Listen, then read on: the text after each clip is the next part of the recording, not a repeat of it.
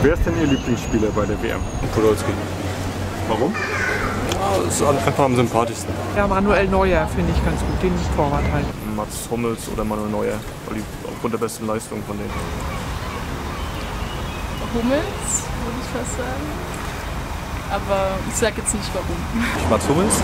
Ist ja nicht ganz so. Äh, kommt ja nicht ganz von ungefähr. Ja, guter Spieler. Bei den Deutschen ist das Özil, finde ich auch ein sehr guter Spieler, ja. Ja. Und Müller wahrscheinlich macht wieder ein Tor äh, heute Abend. Neuer, der Torwart. Ja. Er ist sehr gut. Und an Spielern finde ich eigentlich Müller ganz gut.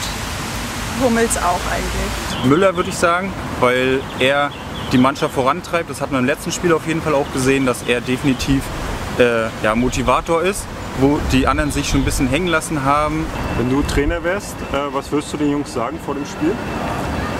Ja, die deutschen Tugenden müssen auf jeden Fall herhalten. Für mich ist, glaube ich, echt wichtig hervorzuheben, dass sie einfach Spaß haben. sagt, dass eben die ganze Welt zuschaut, man äh, der Welt zeigen kann, wo man steht, was man äh, auf dem Kasten hat.